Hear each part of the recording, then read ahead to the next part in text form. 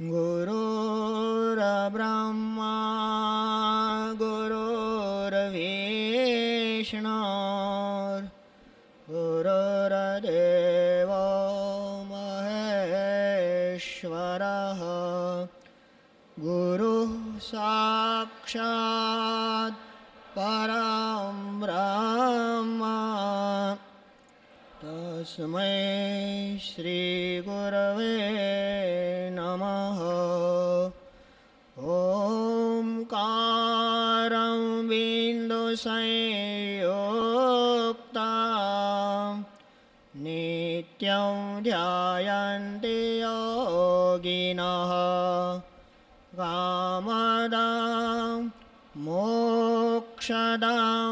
शैवा ॐकाराय नमो नमः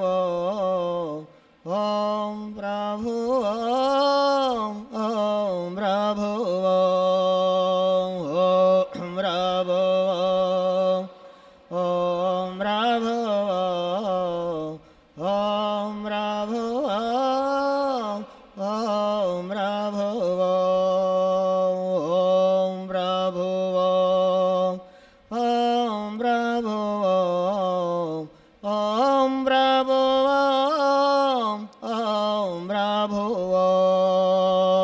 ॐ ब्रभो प्रभो ॐ ब्रभो ॐ ब्रभो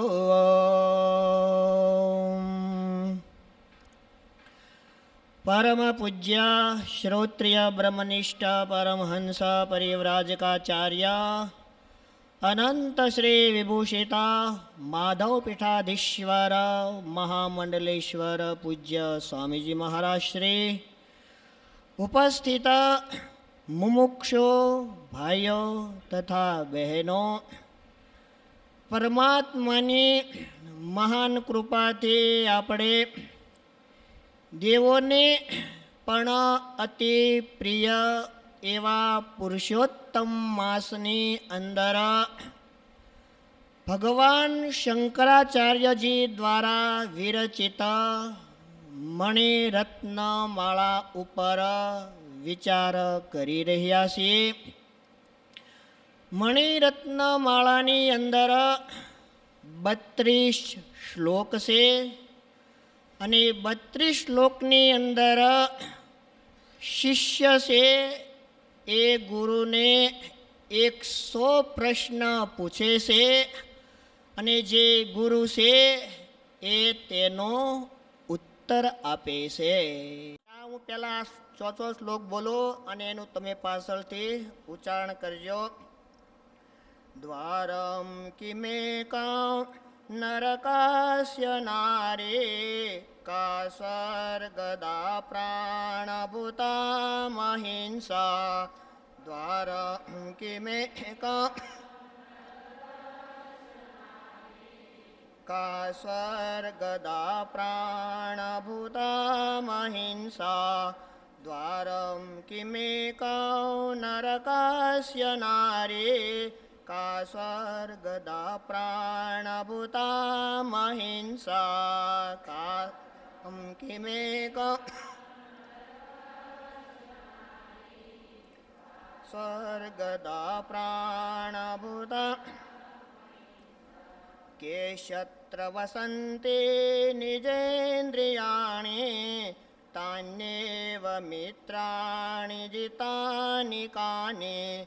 के शत्र वसन्ति निजेन्द्रियाणि तान्येव मित्राणि जितानि। નિજેન્દ્રિયાણિ તાન્યેવ મિત્રાણિ જીતાનિ કાને કે શત્ર વસંતે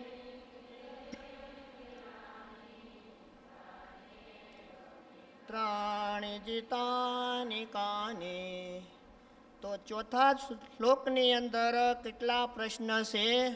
ચાર પ્રશ્ન છે અને તેનો ઉત્તર છે. તો ચોથા શ્લોકની અંદર, પહેલો પ્રશ્ન, શિષ્ય છે એ ગુરુજીને પૂછે છે કે, ગુરુજી, નરકનું દ્વાર કયું છે? તો ગુરુજી ઉત્તર આપે છે કે, જે નારી છે એ નરકનું દ્વાર છે. તો આનો પ્રશ્ન થયો કે નરકનું દ્વાર કયું છે? તો નારી છે એ નરકનું દ્વાર બતાવ્યું.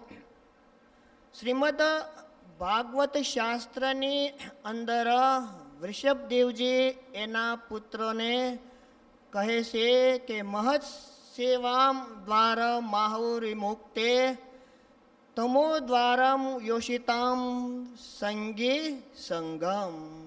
કે હે પુત્રો જે તત્વવેતા મહાપુરુષ પ્રગટ બ્રહ્મ સ્વરૂપ છે એવા મહાપુરુષોની સેવા કરે છે. તે મુમુક્ષ જીવન મુક્તિ દશાને પામે છે અને અંતે વિદેહ મુક્તિ પામે છે. એટલે કે જે બ્રહ્મવેતા મહાપુરુષની જે સેવા કરવી એ શું છે? મોક્ષનું દ્વાર છે અને જે સ્ત્રીનો સંગ કરવો, જે સ્ત્રીનો સંગ કરે છે, એને નરક પ્રાપ્ત થાય છે, એટલે કે સ્ત્રી છે એ નરકનું દ્વાર છે. આનું તાત્પર્ય છે કે જેટલી વાસના છે, એટલી વાસનામાં બધી જ જો વાસનામાં વધારેમાં વધારે વાસના હોય તો એ કામ વાસના છે અને કામ વાસનાને લીધે આ જીવ છે એ વારે વારે શરીરને ધારણ કરે છે અને જે શરીર છે એ જ નરક સમાન છે. એટલે કીધું કે જો નરકનું જો દ્વાર છે, એ કોણ છે? સ્ત્રી છે. તો ત્યાર પછી બીજા પ્રશ્નો શિષ્ય પૂછે છે કે હે ગુરુજી, સ્વર્ગ દેવાવાળું કોણ છે? સ્વર્ગ તો એનો ગુરુજી ઉત્તર આપે છે કે જે અહિંસા છે, એ જ સ્વર્ગ સ્વર્ગને દેવાવાળી છે. કોઈ પણ પ્રાણીને કોઈ પણ પ્રકારથી દુઃખ ન દેવું, એનું નામ અહિંસા છે. અને જે આવી અહિંસા છે, એ જ સ્વર્ગને દેવાવાળી છે. તો ભગવાન શંકરાચાર્યજીનું અહીં કથન છે કે અહિંસા દ્વારા સ્વર્ગની પ્રાપ્તિ થાય છે અને અન્ય શાસ્ત્રો કહે છે કે પુણ્ય કર્મ દ્વારા સ્વર્ગની પ્રાપ્તિ થાય છે. તો આનો આપણે તાલમેલ કરીએ, સમાનતા કરીએ તો આપણે એમ કહી શકીએ કે અહિંસા દ્વારા મહાપુણ્યની પ્રાપ્તિ થઈ શકે છે. તો અહિંસા એટલે મન, વાણી અને શરીરથી કોઈ પણ પ્રાણીની હિંસા ન કરવી. એવું નથી કે આપણે કોઈને જાનથી મારી નાખ્યા, એને જ હિંસા કહેવામાં આવે છે. જો મનની અંદર દ્વેષ, ઈર્ષ્યા હોય, તેને પણ હિંસા કહેવામાં આવે છે. અને જો વાણી દ્વારા બીજાને કટુ વચન કહેવામાં આવે, કડવા વચન બીજાને કહેવામાં આવે, તેને પણ હિંસા કહેવામાં આવે છે. બોલો, આપણે કોઈને બે લાફા કે બે લાકડી મારી લીધે? તો બોલો, એ એને થાય છે. પણ જો આપણે કોઈને કડવું વચન કીધું, તો એ એના હૃદયની અંદર બેસી જાય છે. એ ક્યારેય એને ભૂલતા નથી. બોલો, લાકડીના મારતો જે સમયે આપણને વાગ્યા હોય, એટલી સમયે જ પીડા કરે છે.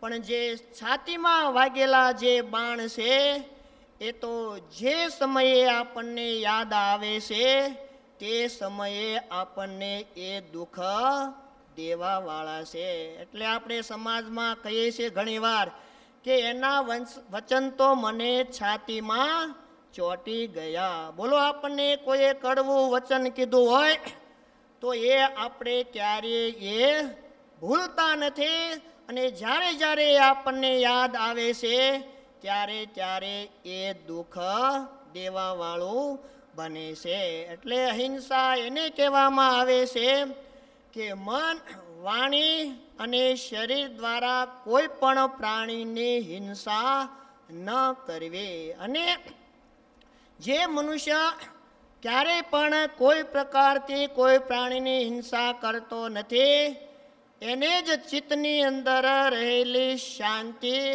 અને સુખનો અનુભવ થાય છે અને એ જ જે સુખ શાંતિ છે, એ જ તે સ્વર્ગની સમાન છે. એટલે આમાં પ્રશ્ન હતો કે સ્વર્ગને દેવાવાળું કોણ છે? તો જે સર્વ પ્રકારથી જે અહિંસા છે, એ જ હંમેશા સ્વર્ગની સમાન સુખ દેવા વાળી છે. ત્યાર પછી આ બે પ્રશ્ન થયા. ત્રીજા પ્રશ્નની અંદર કહે છે કે શત્રુ કોણ છે?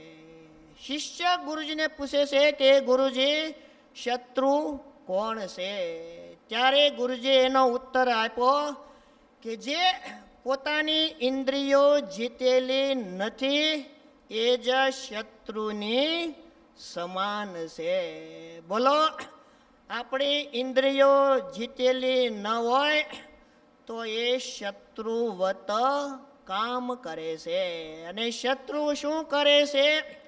કે શત્રુ આપણું હંમેશા બગાડવા માટે જ એ તત્પર હોય છે.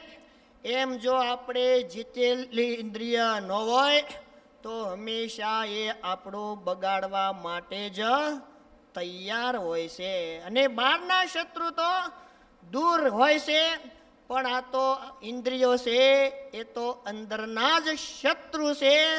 બહારના શત્રુ તો આવવામાં વાર લાગે, પણ અંદરના જે શત્રુ છે, એ તો આપણે ક્યારે આપણું અનર્થ કરી નાખે, એની આપણને કોઈ ખાતરી નથી. એટલે જે જીત્યા વગરની ઇન્દ્રિયો છે એ જ શત્રુની સમાન છે. તો બોલો, આપણી પાસે કેટલી ઇન્દ્રિયો છે? દશ ઇન્દ્રિયો છે. પાંચ જ્ઞાન ઇન્દ્રિયો અને પાંચ કર્મ ઇન્દ્રિયો.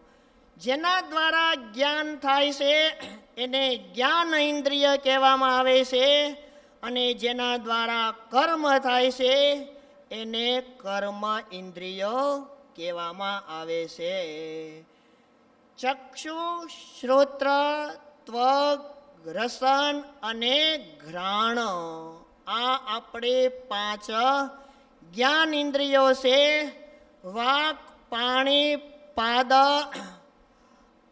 પાયુ અને ઉપસ્થ આ આપણે કર્મ ઇન્દ્રિય છે. તો શ્રોત્ર ઇન્દ્રિય દ્વારા શબ્દનું જ્ઞાન થાય છે ત્વગેન્દ્રિય દ્વારા સ્પર્શનું જ્ઞાન થાય છે ચક્ષુ ઇન્દ્રિય દ્વારા રૂપનું જ્ઞાન થાય છે જીહવા ઇન્દ્રિય દ્વારા રસનું જ્ઞાન થાય છે અને ઘ્રાણ ઇન્દ્રિય દ્વારા ગંધનું જ્ઞાન થાય છે. વાણી વાપ પાણી, પાદ અને ઉપસ્થ પાયો આ કર્મ ઇન્દ્રિય છે. એમાં જે વાણી દ્વારા બોલવા રૂપી કર્મ થાય છે, હાથ દ્વારા આદાન પ્રદાન કરવા રૂપી કર્મ થાય છે અને પગ દ્વારા ગમન એટલે ચાલવા રૂપી કર્મ થાય છે, પાયુ દ્વારા મળ વિસર્જન રૂપી કર્મ થાય છે અને ઉપસ્થ દ્વારા મૂત્ર વિસર્જન આદિ કર્મ થાય છે. આમાં જ્ઞાન ઇન્દ્રિયો દ્વારા જ્ઞાન થાય છે અને કર્મ ઇન્દ્રિયો દ્વારા કર્મ થાય છે. જેના દ્વારા જ્ઞાન થાય છે એને જ્ઞાનેન્દ્રિય કહેવામાં આવે છે અને જેના દ્વારા કર્મ થાય એને કર્મેન્દ્રિય કહેવામાં આવે છે. અને આ જે દશે દશ ઇન્દ્રિયો છે, એની અંદર બધાની અંદર દેવતા રહેલા છે એટલે જ બધી ઇન્દ્રિયો છે એ કર્મ કરવામાં કુશળ છે, નહીતર એ કર્મ કરવામાં કુશળ થઈ શકે નહીં. બોલો. સમષ્ટિ રૂપથી જે દેવતા છે એ બધે રહેલા છે અને વ્યષ્ટિ રૂપથી એ બધા જ દેવતા આપણે અંદર રહેલા છે. એમાં બધી જ ઇન્દ્રિયોના દેવતા છે એટલે જ એ પોતપોતાનું કામ કરી શકે છે. એટલે શ્રોત્ર ઇન્દ્રિયના દેવતા છે, દિગ્દેવતા, ત્વગેન્દ્રિયના દેવતા છે વાયુ દેવતા ચક્ષુ ઇન્દ્રિયના દેવતા છે સૂર્ય દેવતા રસન ઇન્દ્રિયના દેવતા છે વરુણ દેવતા અને ઘ્રાણ ઇન્દ્રિયના દેવતા છે, અશ્વિની કુમાર, આ જ્ઞાન ઇન્દ્રિયના દેવતા થયા અને કર્મ ઇન્દ્રિયોમાં વાણીના દેવતા છે, એ અગ્નિ દેવતા છે, હાથના દેવતા છે, એ ઇન્દ્ર દેવતા છે, પગના દેવતા એ વિષ્ણુ દેવતા છે, પાયુના દેવતા યમ છે અને ઉપસ્થના દેવતા છે એ પ્રજાપતિ છે. આમાં દશે દશે ઇન્દ્રિયોના દેવતા, એક દેવતા તો સમષ્ટિ રૂપથી બધે છે અને આ બધા જ દેવતા વ્યષ્ટિ રૂપથી આપણે અંદર રહેલા છે એટલે જ આપણી ઇન્દ્રિયો છે એ પોતપોતાનું બધું જ્ઞાન તથા કર્મ કરવામાં કુશળ છે.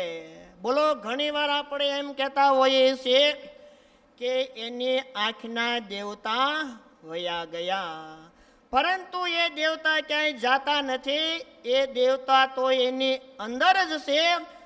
પરંતુ જે ચક્ષુની અંદર જે એ દેવતાને ગ્રહણ કરવાની જે શક્તિ છે, એ શક્તિ નષ્ટ થઈ જાય છે, એટલે એ આંખથી આપણે જોઈ શકાતું નથી. દેવતા તો એની અંદર જ હોય છે. પણ એ ચક્ષુની અંદર, એ દેવતાને ગ્રહણ કરવાની જે શક્તિ હતી, એ નષ્ટ થઈ ગઈ. એટલે ઘણીવાર આપણે એમ કહેતા હોઈએ છીએ કે એને દેખાતું નથી. નકર બોલો એની આંખો તો એવી ને એવી હોય છે, પણ એ આંખની અંદર જે દેવતાને ગ્રહણ કરવાની જે શક્તિ હતી, એ નષ્ટ થઈ ગઈ. એટલે એનાથી આપણે જોઈ નથી શકાતું.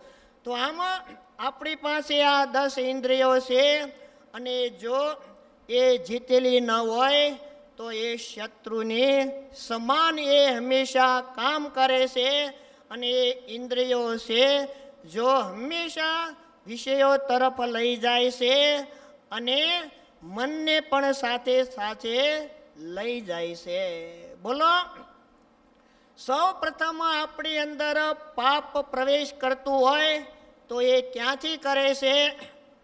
તો સૌ પ્રથમ આપણા અંદર પાપ પ્રવેશ કરતું હોય, તો પહેલાં આપણે જોવાથી પહેલાં જોયું અને જોયા પછી, ત્યાર પછી જ એ પાપ મનની અંદર પ્રવેશ કરે છે અને ત્યાર પછી જ આ સ્થૂળ શરીરની અંદર પ્રવેશ કરે છે. તો સૌ પ્રથમ બોલો આપણે, ચક્ષુ ઇન્દ્રિય દ્વારા જોયું અને જોયું એટલે મનમાં આવ્યો મનમાં આવ્યો એટલે શરીર દ્વારા આપણે એ કાર્ય કર્યો. તો બોલો, સૌ પ્રથમ પાપ ક્યાંથી પ્રવેશ થયો? આપણે આ ચક્ષુ ઇન્દ્રિય દ્વારા પાપ આપણી અંદર પ્રવેશ થયો. તો જો એ ચક્ષુ ઇન્દ્રિય, જો આપણી જીતેલી ન હોય, તો એ હંમેશા પાપની અંદર પ્રવેશ કરાવે છે.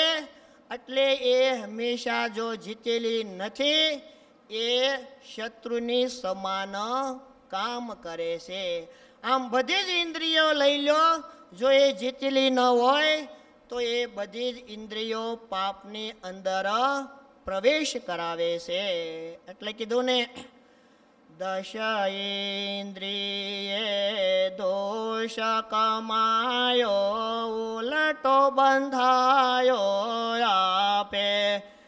કામ ક્રોધ મદ મોહ અગ્નિમાં કામ ક્રોધ મદ મોહ અગ્નિમાં બળી રહ્યો બહુ તાપે રે જંજાળી જીવડે મુક્તિને જોગતે ન જાણી. એટલે હંમેશા જો ઇન્દ્રિયો જીતેલી ન હોય, તો એ ઇન્દ્રિયો છે એ આપણી ઉપર બેસી જાય છે અને હંમેશા એ અનર્થ તરફ જ લઈ જવાનું કામ કરે છે એટલે આ પ્રશ્નની અંદર શિષ્યનો પ્રશ્ન હતો કે ગુરુજી, મિત શત્રુ એ કોણ છે? તો શત્રુ એ જ છે જો આપણી જીતા વગરની ઇન્દ્રિયો છે, એ જ આપણું શત્રુની સમાન કામ કરે છે. ત્યાર પછી આ શ્લોકની અંદર ચોથો પ્રશ્ન છે કે મિત્ર છે એ કોણ છે? શિષ્ય ગુરુજીને કહે છે કે ગુરુજી, મિત્રની સમાન કોણ છે? ત્યારે ગુરુજી એનો ઉત્તર આપો કે જે જીતેલી ઇન્દ્રિયો છે, એ મિત્રની સમાન કામ કરે છે. બોલો, આપણો મિત્ર હોય, એ હંમેશા આપણું સારું કરે છે. એમ જો આપણી ઇન્દ્રિયો જીતેલી હોય તો એ હંમેશા આપણા મિત્રની સમાન કામ કરે છે અને જીતેલી ઇન્દ્રિયો છે એ જ હંમેશા પરમાત્માની તરફ લઈ જાય છે. જો વારે વારે આ સંસારની અંદર નાખવા વાળી હોય, તો જે જીતા વગરની ઇન્દ્રિયો છે અને સંસારની અંદરથી મુક્ત થવામાં જો કારણ હોય, તો આપણી જે જીતેલી ઇન્દ્રિયો છે એ હંમેશા આપણો મિત્ર કામ કરે છે. એટલે હંમેશા આપણે જીતેન્દ્રિય બનવું જોઈએ.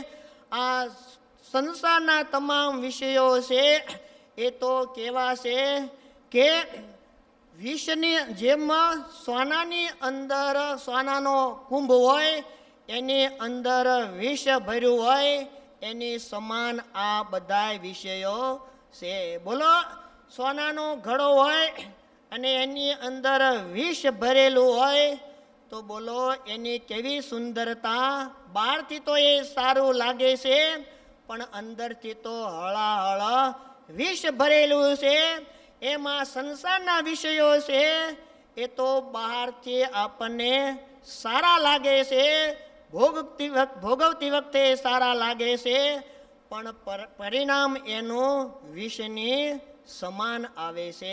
એમ જાણીને જેણે પોતાની ઇન્દ્રિયોને વશમાં કરી છે અને તમામ જગ્યાએ જતી ઇન્દ્રિયોને વાળીને અંતર્મુખી બનાવી છે, એને જીતેન્દ્રિય કહેવામાં આવે છે. જીતેન્દ્રિય હોય એને પછી આ સંસારના વિષયોની અંદર કોઈ પણ પ્રકારની આસક્તિ થતી નથી, કારણ કે એને નિશ્ચિત થઈ ગયો કે આ વિષયો છે એ તો વિષ કરતાં પણ વધારે ઝેરી છે. એટલે એને ઇન્દ્રિયોને તમામ વિષયોમાંથી માળીને અંતર્મુખ કરે અને જ્યારે ઇન્દ્રિયો અંતર્મુખી થાય છે, ત્યારે જે અંદરનું આપણને સુખ છે એ મળી શકે છે અને ભટકતી ઇન્દ્રિયોની અંદર ક્યારેય સુખ મળી શકતું નથી. કારણ કે ઇન્દ્રિયો છે એ તો વારે વારે બધા જ વિષયોની અંદર જઈ જઈને સાથે મનને પણ લઈ જાય છે અને હંમેશા ભટકાવ્યા કરે છે. એટલે આમાં ચોથો પ્રશ્ન હતો કે મિત્ર કોણ છે? તો ગુરુજીએ એનો ઉત્તર આપ્યો કે જે પોતાની ઇન્દ્રિયો જીતેલી છે એ જ મિત્રની સમાન છે અને એ જ હંમેશા આપણો કલ્યાણ કરવાવાળી છે. એટલે હંમેશા મનુષ્ય જીતેન્દ્રિય બનવું જોઈએ, વિષયોના લુલુપ્તની અંદર ક્યારે પડવું જોઈએ નહીં અને એ જ મનુષ્ય જીવનનું જો પરમ કાર્ય હોય, તો ઇન્દ્રિયોને જીતીને, વિષયોથી નિર્મુક્ત થઈને પરમાત્મા તરફ જવું, એ જ મનુષ્ય જન્મનું પરમ લક્ષ્ય છે.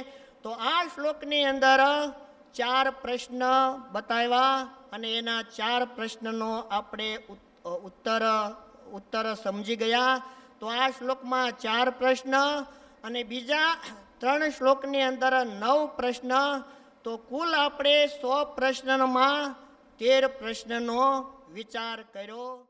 તો સર્વને સર્વ પ્રકારે પરમાત્મા સર્વ પ્રકારથી આ જ્ઞાનના ભાગીદાર બનાવે અને આ જ્ઞાન બધાને ઉતરે અને સંસારથી મુક્ત થઈને પરમાત્મા રૂપ બધાય થાય એવી પરમાત્માને પ્રાર્થના, સર્વેત્ર સુખીના સંતો, સર્વે સંતો નિરામયા, સર્વે ભદ્રાણી પશ્યંદો, મા કશ્ચિત દુઃખ ભાગવેદ ઓમ શાંતિ. દેવ કી સ્વામીજી મહારાજ કી જય સનાતન ધર્મ કી જય આદ્ય જગદગુરુ શ્રી શંકરાચાર્ય ભગવાન કી જય તાપી મૈયા કી જય ઓમ નમઃ પાર્વતી પતે હર હર મહાદેવ